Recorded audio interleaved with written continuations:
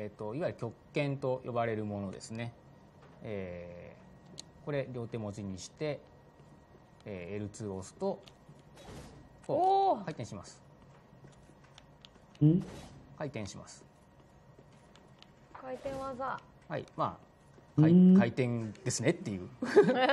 まあこれだけなんですけどえここから、えー、攻撃をつなげることでさらに新しい動きになるというところで。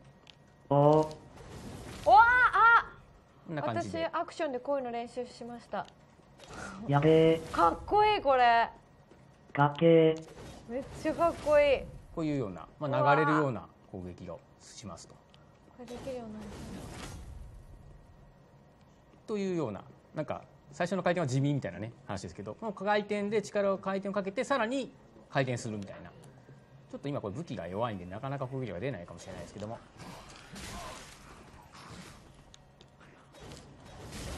わかっこいい。というような。ダダンヒットしたそうですね。ちょっと今ゲージがなくなってきたのですごく弱くなっちゃいました。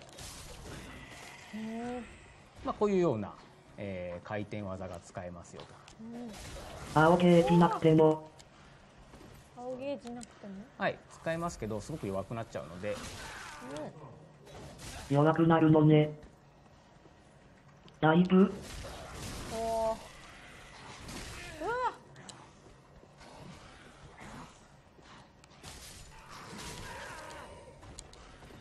調子乗ってると真相かもしれないですね。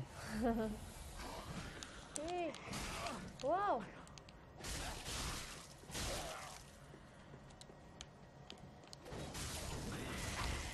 おおえ攻めてくるねすごい攻めてきますねとまあまあこんな感じで、えー、両手持ちをして、えー、回転をしてさらに R2 をつなげることで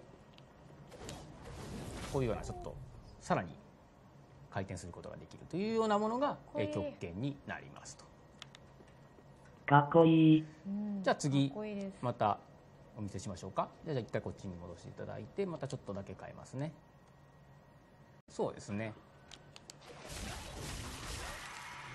ちょっと今ゲージがなくなってきたのですごく弱くなっちゃいました。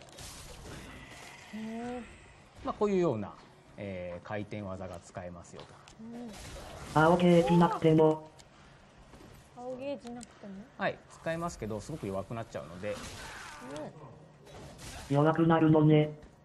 というようななんか最初の回転は地味みたいなね話ですけど。この回転で力を回転をかけてさらに回転するみたいなちょっと今これ武器が弱いんでなかなか攻撃が出ないかもしれないですけども。うわかっこいい。というような。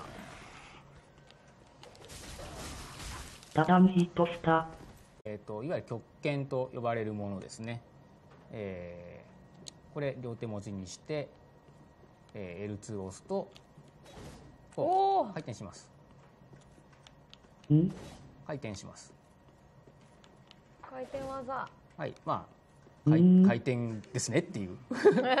まあこれだけなんですけどえここからだいぶ。お